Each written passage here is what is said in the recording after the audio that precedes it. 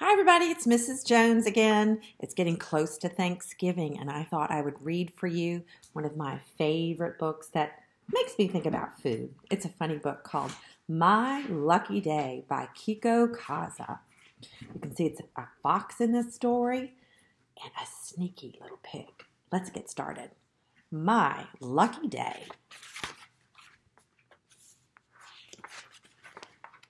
One day, a hungry fox was preparing to hunt for his dinner. As he polished his claws, he was startled by a knock at the door. Hey, Rabbit! Someone yelled outside. Are you home? Rabbit, thought the fox. If there were any rabbits in here, I'd have eaten them for breakfast. When the fox opened the door, there stood a delicious looking piglet. Oh no! screamed the piglet. Oh yes, cried the fox. You've come to the right place. He grabbed the piglet and hauled him inside. this must be my lucky day, the fox shouted. How often does dinner come knocking on the door? The piglet kicked and squealed. Let me go! Let me go! Sorry, pal, said the fox. This isn't just any dinner. It's a pig roast, my favorite. Now, get into that roasting pan. It was useless to struggle. All right, sighed the piglet. I will. But there's just one thing. What? growled the fox. Well, I am a piglet, you know. I'm filthy. Shouldn't you wash me first? Just a thought, Mr. Fox. Hmm, the fox said to himself. He is filthy. So he got busy. He collected twigs. He made a fire. He carried in the water. And finally, he gave the piglet a nice bath. You're a terrific scrubber, said the piglet.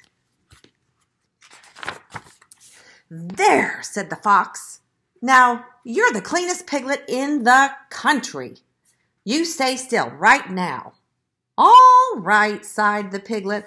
I will, but. But what? growled the fox. Well, am a very small piglet, you know. Shouldn't you fatten me up to get more meat? Just a thought, Mr. Fox. Hmm, the fox said to himself. He is on the small side. So the fox got busy. He picked tomatoes, he made spaghetti, he baked cookies. And finally, he gave the piglet a nice dinner. You're a terrific cook, said the piglet. There, said the fox. Now you're the fattest piglet in the county, so get into that oven. All right, sighed the piglet.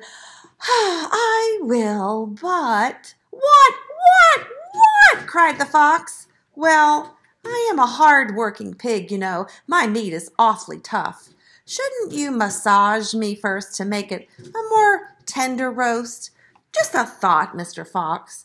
Hmm, the fox said to himself, I do prefer tender meat. So the fox got busy. He pushed and he pulled.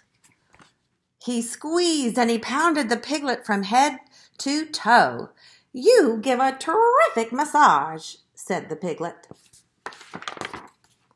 But the piglet continued, I've been working really hard. My back is awfully stiff. Could you push a little harder, Mr. Fox? A little to the right, please. Yes, yes. Now, just a little to the left. Uh-oh, look at the fox. He's getting tired, isn't he? Mr. Fox, are you there?